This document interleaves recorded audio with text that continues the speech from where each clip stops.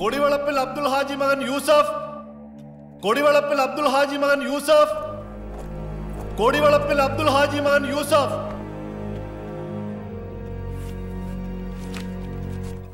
പ്രതിയുടെ മേൽ ആരോപിക്കപ്പെട്ടിരിക്കുന്ന കുറ്റങ്ങൾ സംശയാതീതമായി തെളിയിക്കുന്നതിൽ പ്രോസിക്യൂഷൻ ഭാഗം തീർത്തും പരാജയപ്പെട്ടിരിക്കുന്നതിനാൽ പ്രതിയെ നിരുപാധികം വിട്ടയക്കാൻ ഈ കോടതി ഉത്തരവിടുന്നു.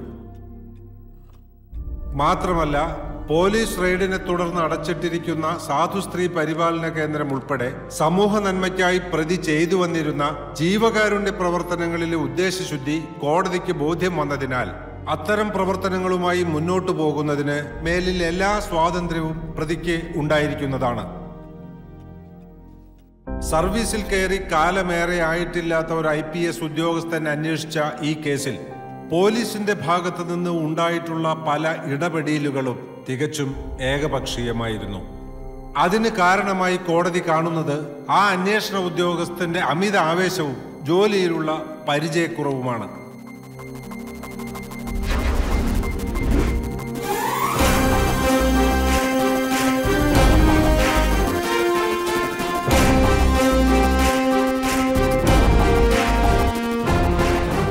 വെറുമൊരു പത്രവാർത്തയെ അടിസ്ഥാനമാക്കി മതിയായ തെളിവുകൾ പോലുമില്ലാതെ സമൂഹത്തിന് ഉപകാരിയായ ഒരു വ്യക്തിയെ അപകീർത്തിപ്പെടുത്തിയ അന്വേഷണ ഉദ്യോഗസ്ഥന്റെ നിലപാട് തീർത്തും ദൗർഭാഗ്യകരമാണ്.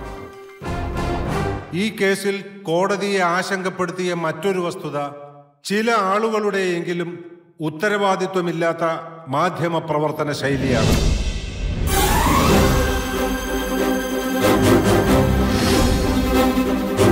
എത്തിക്സുകൾക്ക് വില കൽപ്പിക്കാത്ത ഒരു മാധ്യമ പ്രവർത്തകൻ വിചാരിച്ചാൽ ഏതൊരു വ്യക്തിയെയും കുറച്ചു കാലത്തേക്കെങ്കിലും സമൂഹത്തിന് മുൻപിൽ കുറ്റവാളിയാക്കാമെന്നതിന് ഉത്തമ ഉദാഹരണം കൂടിയാണ് ഈ കേസ്.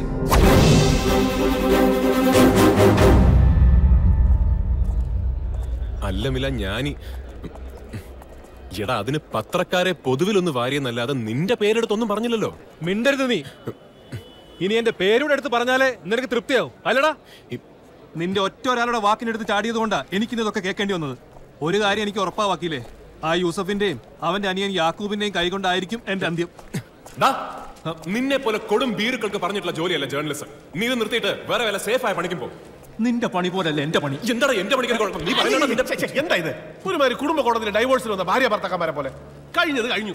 നമുക്ക് ഈ വിധിക്കെതിരെ ഒരു അപ്പീലിന് പോകാം. അയ്യടാ. ഒരപ്പീലിനും പോന്നില്ല തൽക്കാലം വക്കീൽ വീട്ടിൽ പോ. അടുത്ത മഴയ്ക്ക് മുമ്പ് ഞാനും പോട്ടെ. അല്ല വാസ്തവത്തിൽ നമ്മൾ ഈ അപ്പീൽ. വേണ്ട.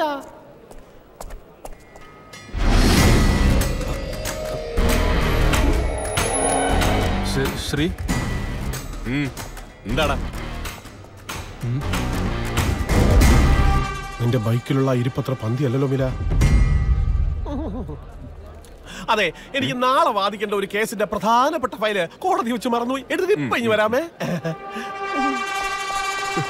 എല്ലാം വരുത്തി വെച്ചിട്ട് ആക്കിച്ചിരിക്കുന്നോടാ. നീയാ നീ ഒരുത്തനാ. അതെ ഞാൻ ഒരുത്തന. അതുകൊണ്ടാ പറയുന്നത് നീ ധൈര്യമായിട്ട് പോയി വണ്ടി എടുക്കുക ഇക്കാര്യത്തിൽ നിന്നെ ദോ ലവൻ ഒന്നും ചെയ്യാൻ പോകുന്നില്ല. ഹ ചെല്ലടാ. ഞാൻ എന്റെ ജീപ്പിനടുത്തുണ്ടാവും. നീ പോയിട്ടേ ഞാൻ പോന്നുള്ളൂ.